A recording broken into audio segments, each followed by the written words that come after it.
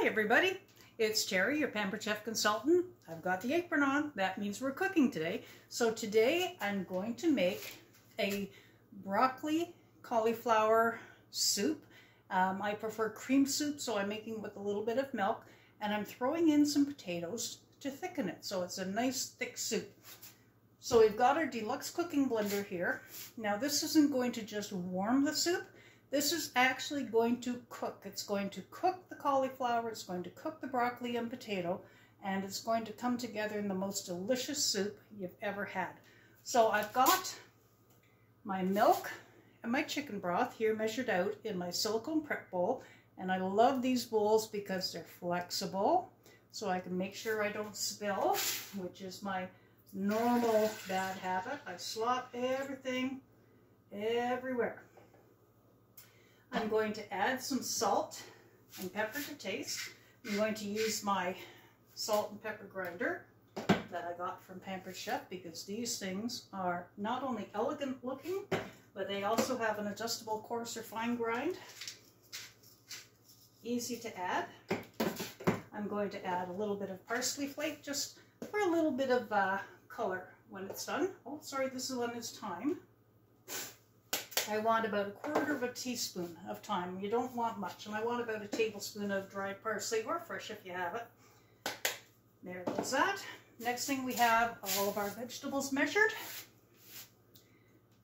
And I'm going to scrape these into the bowl and hopefully without uh, dropping all of them, like that one. There we go. Told you I'd drop everything. I wasn't kidding. so I'm just going to plop out the first few until some of them are out. Pardon my fingers, I promise. I've just finished washing dishes so my hands are clean. I really do promise.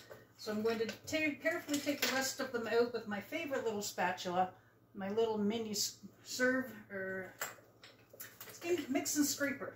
That's what they call.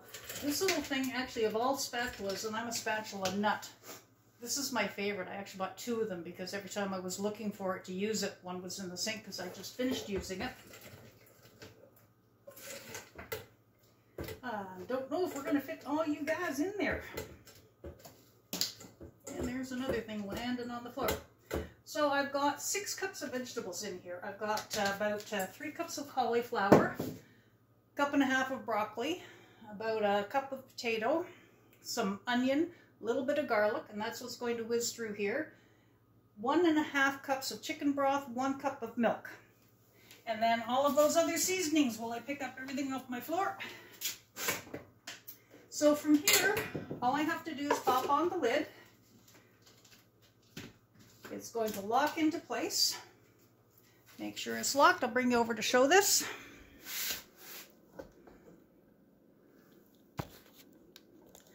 So I've got it locked into place.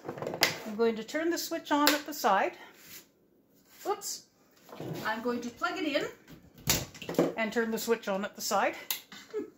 You gotta love live. Hey, everything happens when you're on live. So, turn it on. It's going to say custom blend. No, that's not what I want to do.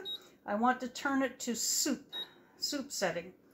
It says smoothie, alternate milk, grind, nope.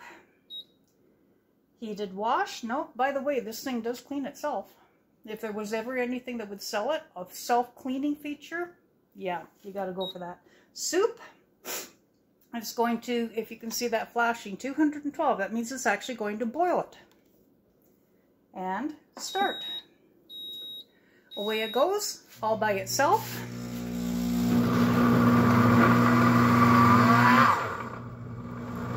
So from here, I walk away. 30 minutes later, my soup is done. Can you get any easier than that? Seriously, you got to have this thing.